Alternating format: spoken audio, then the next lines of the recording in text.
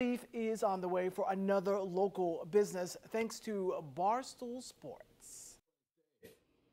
Whoa, hello there. Unbelievable. It's uh, it's quite the story, and, and you know, it's the exact reason we started the fund. Somebody who's been running a successful business forever, and then this pandemic just comes along. It's like, what can you do in your industry, especially in New York?